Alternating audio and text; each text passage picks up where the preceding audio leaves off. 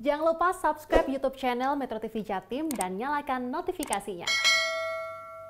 Seorang petani di Kabupaten Gresik berhasil membudidayakan buah melon unggulan di lahan sawah tak ada hujan. Pertanian buah melon premium dinilai lebih menguntungkan dibandingkan menanam padi. Manisnya panen melimpah buah melon unggulan ini, seperti yang dirasakan Ivan Martawarsana, warga desa Karang Semanding, Kecamatan Balong Panggang, Kabupaten Gresik. Lahan seluas lebih dari 3.000 meter persegi ini menghasilkan lebih dari 6.000 buah melon dengan kualitas super atau setara dengan 6 ton. Area persawahan yang biasanya ditanami padi ini telah berhasil diubah menjadi lahan perkebunan buah melon berkualitas.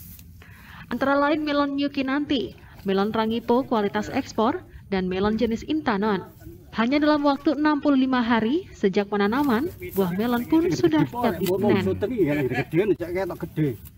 Kita bisa membuktikan kita sudah panen beberapa kali di sini, tiga kali panen dan alhamdulillah semuanya uh, berhasil sesuai dengan target. Jadi bisa di bisa disimpulkan bahwasannya uh, tanah kualitas tanah di sini cocok untuk kita budidaya hortikultura khususnya melon.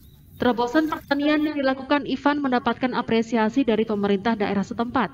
Ke depan keberhasilan yang dicapai dalam budidaya melon unggulan di Desa Karang Semanding ini akan dijadikan percontohan untuk daerah lain.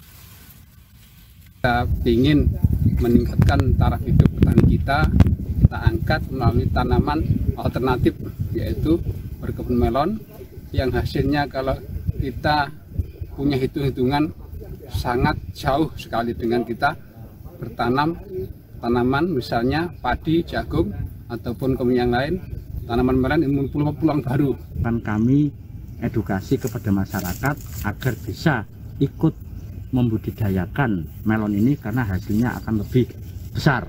Buah melon unggulan yang dibudidayakan di Desa Karang Semanding memiliki berat rata-rata per buah 1,5 kg hingga 2 kg. Lantaran ini merupakan melon premium, harganya pun lumayan mahal, ditaksir mencapai Rp20.000 per kilogramnya. Dari Gresik, Sohil Huda, Metro TV.